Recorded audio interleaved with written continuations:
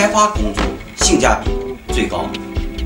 但如何能快速掌握一门技术？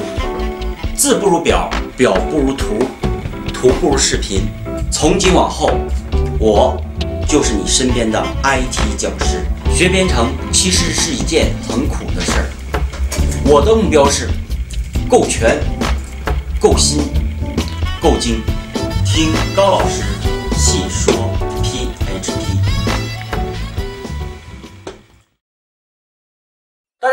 家好，我是训练的讲师高裸峰。大家好，我是妹子。啊，妹子，前面呢我们学过变量的一些分配方式，对不对？对。第一种可以从 PHP 分配变量给模板。嗯。第二种，模板中可以从配置文件中读取变量。第三种，模板中可以直接使用一些保留变量，就是不用分配也不用获取就可以使用的变量，对不对？对。那这节课呢，讲一下跟变量处理有关的技术，叫做什么呢？叫做变量修改器，也叫做变量调节器，其实是一个东西，对不对？嗯。那为什么要使用这个？这个是一个重点，对不对？那咱们来看一下，为什么要使用变量调节器？什么是变量调节器？对不对？对。比如说，假如说我们在 P R P 端用分配的方式向模板中分配一个变量，比如说在这块我们声明一个变量 var 等于，这是一个 demo，多写几遍吧。这是一个 demo，这是一个 demo，这是一个变量，对不对？嗯。现在。我们使用 Smarty，ASI 分配叫 var 吧，给什么？给模板，对不对？对。那我们现在在模板里边打开这个，直接使用 $var。你看，这是我们正常一个分配，然后一个显示，对不对？对。我们来看一下结果，就是在模板里边输出了这个字符串而已，对吧？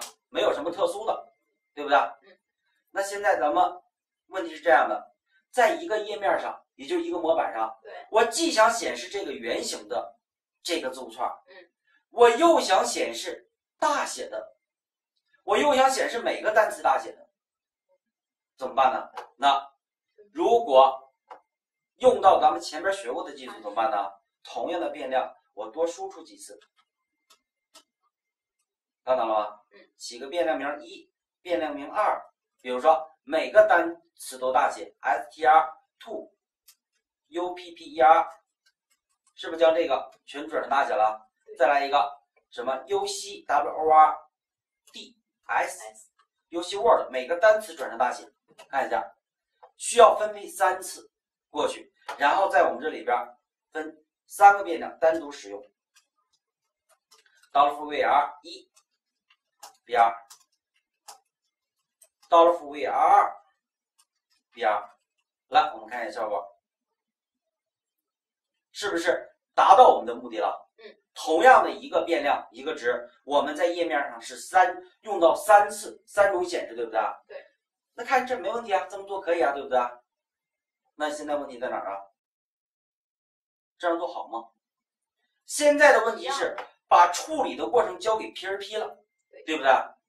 那。我们要的这三种只是显上显示上，也就在模板上美工上处理的用法上不同，对不对？嗯。显示上的不同，那如果每个显示上都这么做的话，那么谁的压力大呀？PHP 程序员的压力大，对不对？他得配合美工，想要美工显示的，他都得处理，听着吗？嗯。那对于这样的网站，比如说这样的网站，你看。我们这块儿，比如说西语言编写 CGI 脚本，看到了吗？嗯，对吧？这是一个标题，对不对？对。这个标题，因为西语言这个栏目这块标题这个栏比较窄，这是一个编侧栏，对不对？嗯。那如果太长的话，会把它撑开或者换行，都会影响布局，对不对？对。所以呢，我们的处理方案是什么呢？将这个变量怎么呢？到一定长度的时候，用点点点代替，说明这个标题没显示完，对吧？我们想知道这个标题的全程是鼠标一放上去，你看是不是有一个弹出框？这个提示框说西语言编写的 C 加脚本是否执行效率更高一点，对吧？那这个标题是不是显示全程了？嗯。那如果用到刚才的那个想想想法的话，在模板里显示，现在是不是我得分配过来最少两个变量？对，一个是截取后的，一个是什么全称，是不是？嗯。两个变得分为两次过来。如果用刚才那个想法，对吧？那你想象一下，那咱们 PRP 成员处理的时候，是不是就得多少？处理两次啊嗯？发过来，那能不能干嘛呀？我们只发过来一个变量在模板里边儿，然后呢，在模板里边儿我们调节这个变量，想让它显示什么样就让它什么样嗯，对吧？所以思路就转变成这个处理过程变成到哪儿啊？不是在这儿处理了，懂不懂？还是分配一个变量在哪儿呢？让它在模板里处理嗯，对吧嗯？那在模板处理，如果是用 Smart 二的话，就是 Smart 第二版本的话，我们是处理不了的。怎么的呢？因为在这里边儿不是说处理不了，是在这里边儿我们是不能调用 PHP 函数的，明白这意思吗？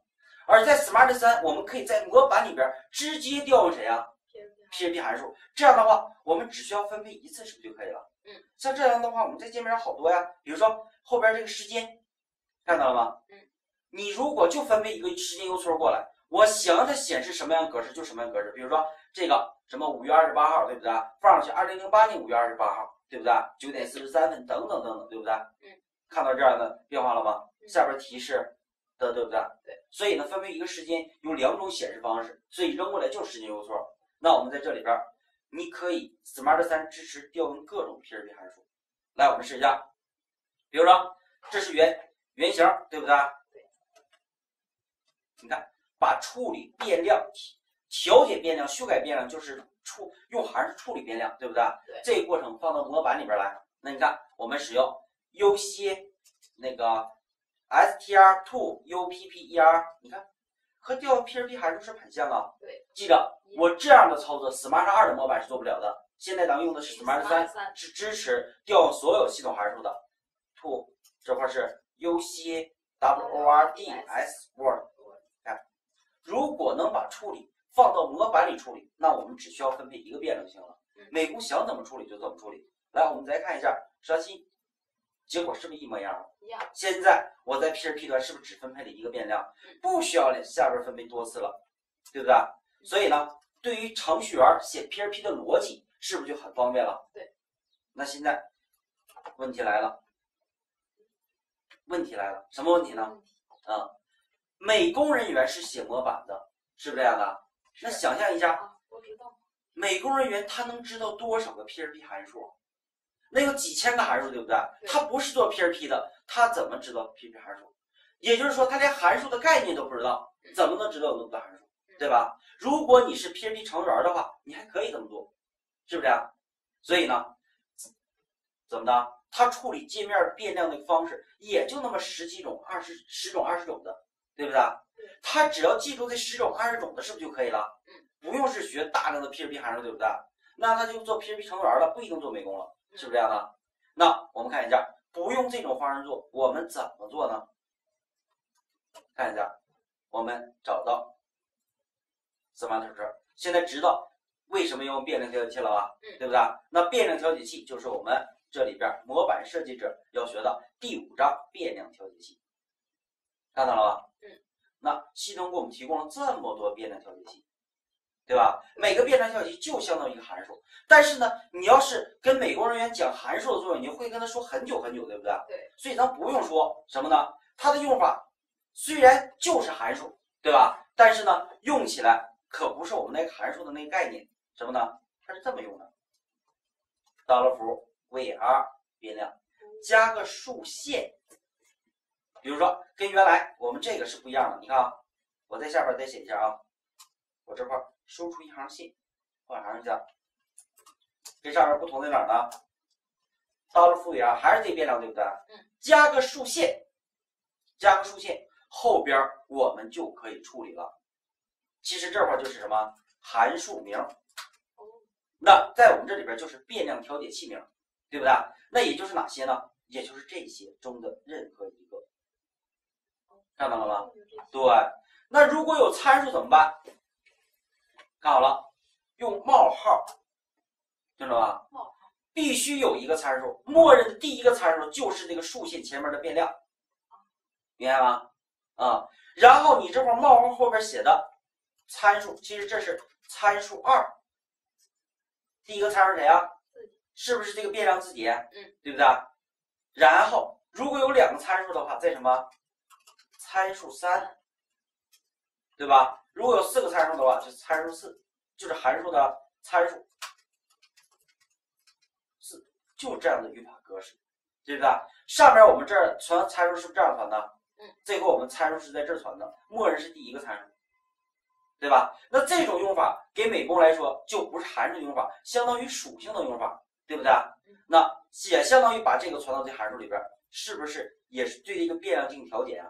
你想要变呢变成什么样，你就用什么样的函数将它显示变成什么样，听懂吧？比如说刚才咱们做的那两种，找一下系统里边有没有这样的函数呢？当然了，这只是一个格式，对不对？有。我把它注释掉啊，注释掉。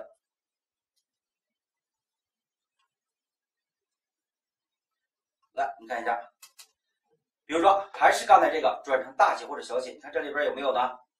用这里边咱们做一下，有 U P P 啊，有 U P P E R，对不对？你看，这是一个变量，直接放到这儿就可以了。你看是不是能转大写呢？比咱们不是函数的用法，var 竖线 U P P E R 括号，你看变没变成大写呢？变成大写是不是全变成大写了？那这种用法，用户可以不懂任何 PHP 的函数，对不对？就可以把它变成大写，对，听着吗？当然这个不需要其他参数，如果需要其他参数的话，冒号存参是不是就可以了？嗯，对吧？那我们这里边看有没有每个单词都转成大写的函数啊？这里边函数里边有没有呢？这是全转成小写，这转成大写，对不对？找一下有没有呢？好像没提供，是不是啊哪儿呢？看一下就行了。这是行宽的一个约束，对吧？没有每个单词转成的，那没有怎么办呢？我就想处理成每个单词手这么大写呢。后边我会教大家怎么的，对，单独的处理方式。这里边呢是最常用的一些，但是这些呢咱们不一定用到这么多，嗯，对吧？啊，那假如说咱们在处理函数的时候，你看啊，有一个这样的问题，能不能我既使用这个处理，对吧？函数咱是不是有嵌套啊？比如说，都每个单词转成大写，我在 str sub str 什么意思啊？截取对，我再截取成什么五个长五，比如说二十个长度，你看，是不是每个单词首字母大写，并截取二十个长度了？嗯，函数我们是不是可以嵌套啊？对，对不对？可以。函数我们是可以嵌套的。那我们在这处理的时候，我们可不可以嵌套呢？比如说 var 变量 upper 是不是大写啊？嗯，对不对？那我们再你再处理一下，你看这里边我们还可以干嘛？除了我们处理大写的话，我们还可以比如说，呃，这里边我们再加上什么呢？也截取一下吧，对不对？截取，这里边有几个参数，第一个是截取的数量，截取多少个，对不对？我就用第一个参数，你看，再加个竖线，就跟嵌套关一样了。先把它转成什么？转成大写，然后再截取，看一下截取的函数什么？是是 t r u n c a t 对不对？来，我们再看 t r u n c a t，截取多长呢？比如说这写上三十个字符，看到了吧？跟刚才的嵌套一样，这叫组合变量调节器，对吧？说白了就是咱们这种函数嵌套的关系，对吧？来，我们试一下，是不是可以了？可以嗯，这样的话我们就可以组合了。现在希望大家能明白什么是变量调节器，嗯对吧？说白了就是在模板里边处理变量，对，就是变量调节器，对不对？那为什么要在模板里处理变量？知道为什么吧？嗯，知道。因为你在 PHP 处理的时候改变了用户处理成员处理的业务逻辑，对不对？对。那变量只有在显示的时候它变化，这种处理才是最好的方式。而这种处理就得放在模板那边处理，对不对？嗯。那模板处理的话，你要借助于 PHP 函数，美工不知道，因为模板是美工写，对不对？对。所以呢，就要学习什么？就要学 Smarty 里边的变量调节器，它一共提供这么多变量调节器，对不对？嗯。呃，那下节课我们再呃逐一的使用一下重点的一些变量调节器，好吧？这节课我们主要了解什么是变量调节器。好，谢谢大家，这节课我们就教到这里。好，再见。拜拜。初学者在学习一门编程语言时，总结能力非常差，胡乱学习，对学习的内容和方法没有掌握，对行业的发展毫无了解，对自己的未来也很迷茫。为此，峰哥推出每天六十秒语音，为你答疑解惑。加入峰哥微信公众账号，让学习成为一种习惯。用微信扫描二维码，或者搜索“高乐峰兄弟连”，出来一个高大威武、有内涵的帅哥，就是我了。点击关注，我就会天天骚扰你。